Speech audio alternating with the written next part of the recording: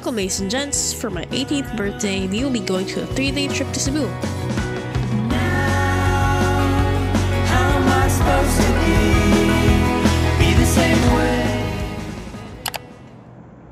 What up guys, it's day 2 and we're going down to check out um, the new car, the, the rental car. The rental car arrived, now we're heading out to um, Safari, Cebu Safari. Jollibee for breakfast, bro.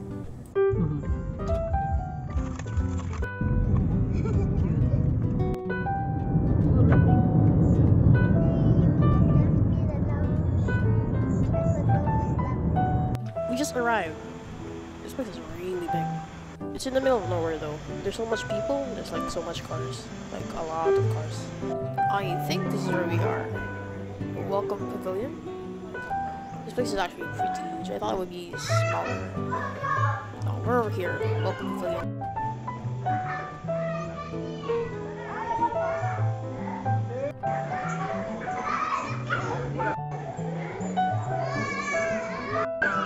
inside na.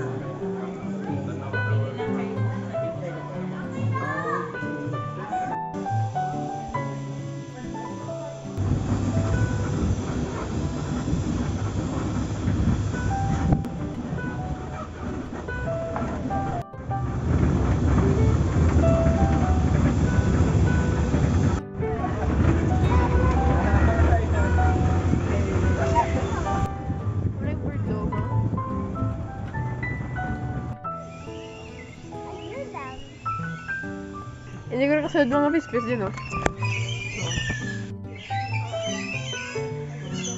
Dahil,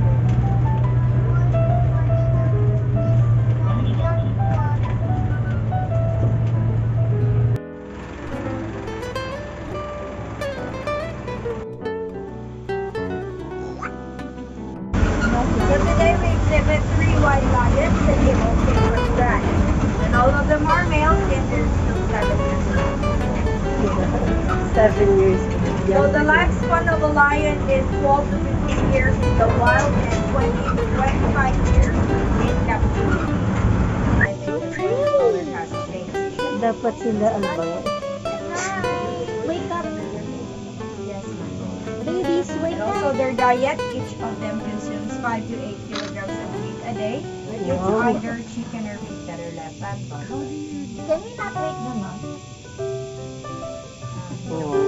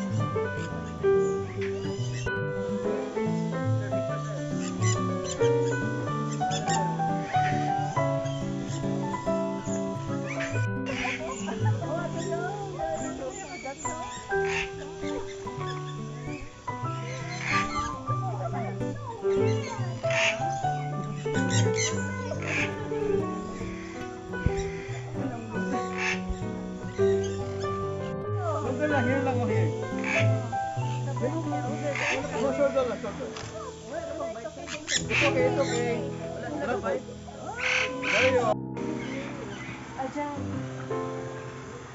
Ah.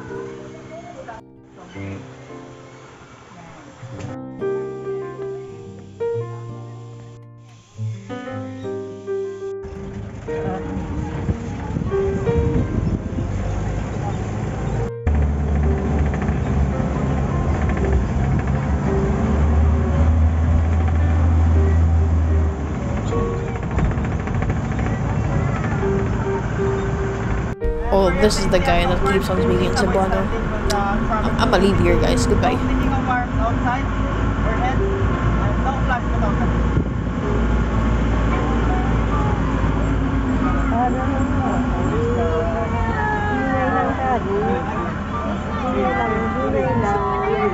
So everyone, the highlight of our savannah, the zebra. So zebras are actually black. So zebras are actually black. They are just covered with white stripes. And if we shave them off, all we can see is black. Cute. And they can run up to 65 kilometers per hour. And they belong to the Icadidae family along with the horses. And their prints are unique, just like human fingerprints. So no two zebras are the same. Yes, ma'am. DNA. Parang ganun, fingerprint. Yes, ma'am. Wala Ang prints ma'am, hindi hindi sa pare-pares sa sa- Ah, sa- kanang puti nga part sa iyang now serves na siya as their natural sunblock against the heat of the sun. So therefore, na sila built-in nga sunblock. And next nga antelope ma'am is kanang grayish. Ang kanang ang kanang grayish nga antelope mo na siya will disease. Mo na siya na-kill or accidentally kill King Mufasa during the stampede sa it. sa Lion King. So, kana sa tilang stampede, siya nga one of the seven wonders of the natural world. And there are about a million of them that moves one place to another in search for fresh grass. And they can run up to 80 km per hour as fast as the light. So everyone, mo na siya impala. So, impala mo na siya pinakapaspas sa savannah kay makarana sila up to 90 km per hour. And bisag sila mo pinakapaspas sila gihapon ang paborito nga snack sa lion, cheetah o leopard. So everyone, impala. Paluoy. Mo jud tong kay mo man ang uh, sir ko ka na chain. Oo. Sir, kumusta?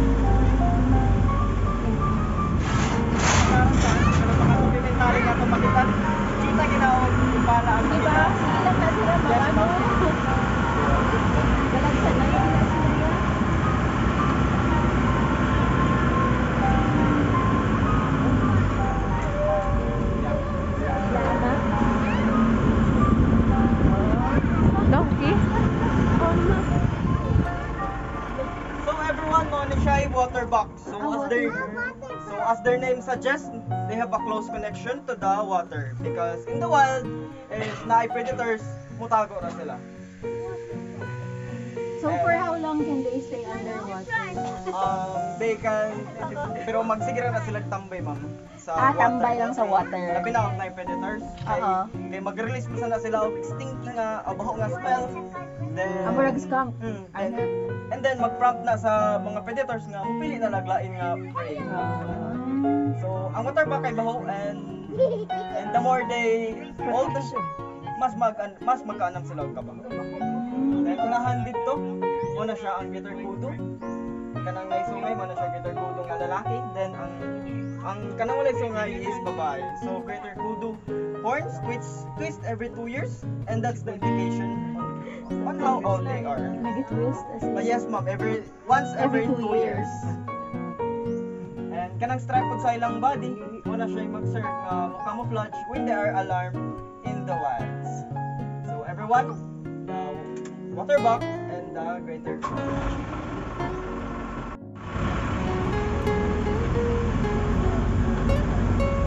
Yeah, sa isa. Muna siya ang babae nga. Yes, ma'am. Oo, wait lang. Kaya pwede rin parang na dito na dito sa Oryx Gazelle. So that Madam Gazelle. Madam Gazelle on Peppa Pig. Updated. So, so Oryx Gazelle is, I mean, has a straight long horns and that horns can reach up to 3 feet. And they're efficient of storing water in their bodies. That's why they can survive up to a year without it. And also, they are the logo of Qatar Airways and the national animal of Qatar. So, everyone, James Buck are Oryx Gazelle. So, everyone, this is the Thompson's Gazelle or the Tan. And they're the cutest or the smallest of in the savannah since they can reach only up to 60 to 70 centimeters in height. Uh, yes, sir. and despite of being the smallest, they can run up to 40 miles per hour, and they are the most easily distinguished antelope because of the patterns and patches that runs along its bodies. So, everyone, the Thompson's Gazelle. And thirdly, the crocodile. And then the crocodile is from the intersection be the African lion. And the rest is down to the walking tour until ma-reaching giraffe. Sa mga wala pa ka-bird show, 145 akong next na bird show para matawag.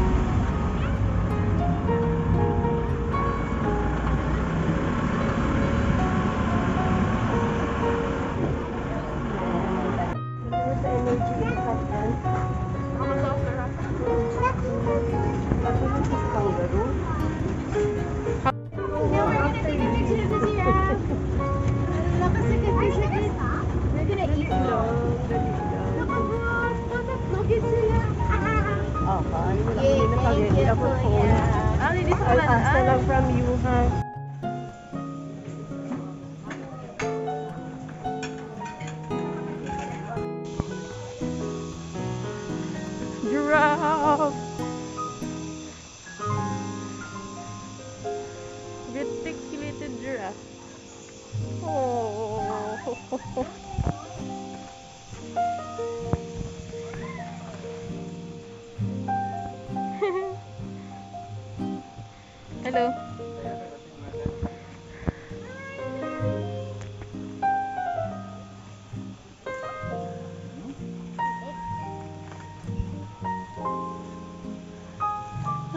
Smile. They look like Guys. aliens. Guys, smile. Makabayo. Wow, kung nakaroon pagkaon niyo. Those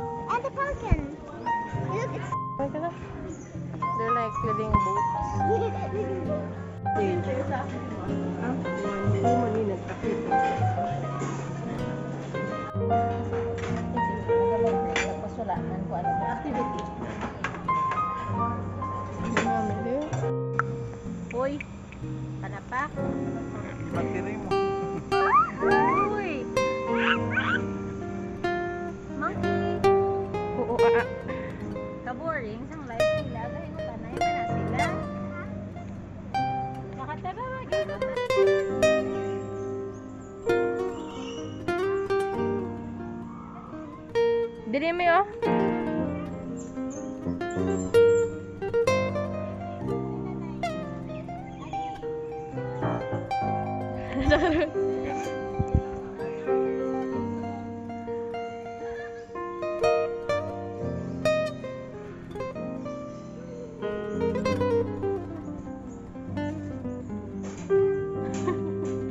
là nhân cả hủy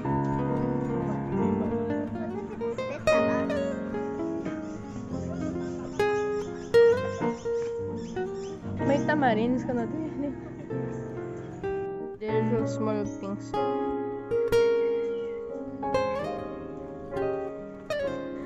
The lang my side favorite. Highlight of the day.